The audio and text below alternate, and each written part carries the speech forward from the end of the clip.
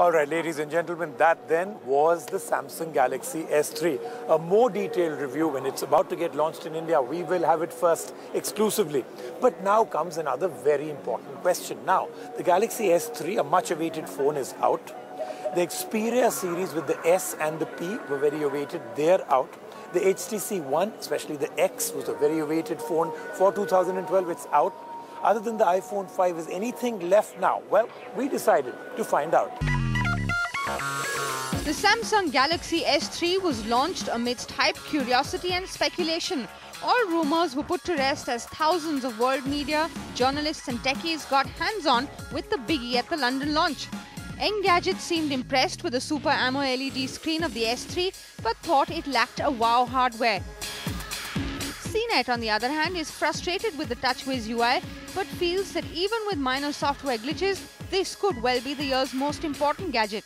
Even though it's uh, such a larger screen and uh, it's got a really large battery, they still kept it really thin and light, so it's just 8.6 uh, millimeters thin and about 133 grams.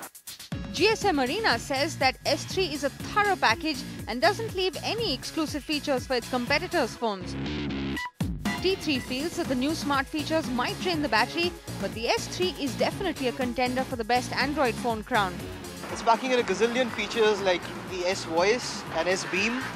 Uh, something which I really liked is the pop-up multitasking. What it allows it, us to do is, if you're watching a video and you want to surf the internet alongside, so you can have the video pop up above the internet browser and watch it alongside while you're surfing.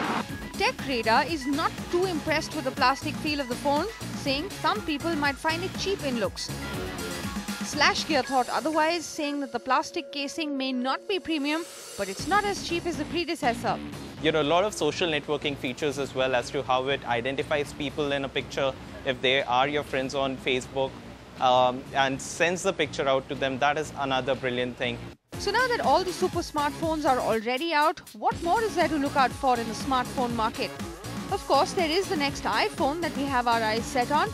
Besides that, the LG X3 and the HTC Zeta are two rumored Android phones that we're waiting for. I think it'll be interesting to see how the rivalry between the iPhone and uh, now the Galaxy S3 uh, pans out. The only competitor which the Galaxy S3 might have will be the iPhone 5 or the iPhone Next in the future. There are also rumors about Sony actually launching a even higher end phone uh, later this year would be something to look out for. Do you have the NDTV Profit app? All the markets, all the news and your own homemade, ready-made portfolio available there for you. We will right now answer what you should sell, what you should buy when markets are down. Download at ndtvprofit.com slash apps. Get the best app from the channel you trust.